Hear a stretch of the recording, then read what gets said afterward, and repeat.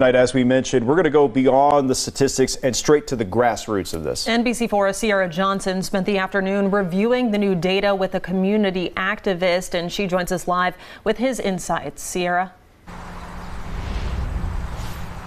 Yeah, Jen and Jared, I had a chance to sit down with Fel Robinson III. He's the founder Violence. That is an organization that focuses on uh, mediation and violence prevention. He says, simply put, a tragedy is a tragedy, and no one deserves to die, um, intentional or otherwise. You know, we've been around nine years. Uh, one year with the Urban League outside of Halt Violence, and then one year with Rock of Faith Church. Fel Robinson III says his mission is reducing crime in his community. After turning his life around following several run ins with the law, his goal is to prevent others from going down the same path of violence, and that often involves preventing gun violence.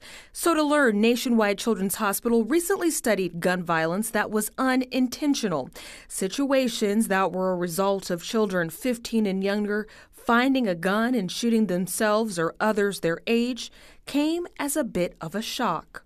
And I'm quite sure some of these um, parents or guardians would have never thought in a million years that this would happen to them.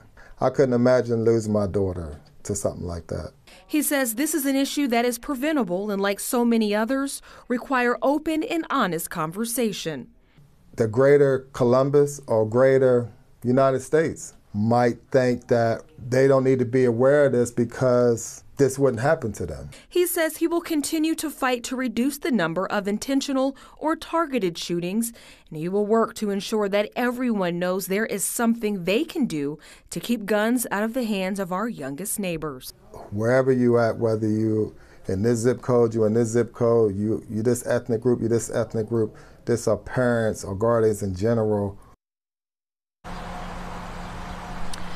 And Robinson says he works to stay in the loop with how gun violence is impacting his community and the communities around him. He said his team is prepared to pivot to open the lines of conversation to talk about the impact of unintentional shootings. We're live in Columbus. Sierra Johnson, NBC4.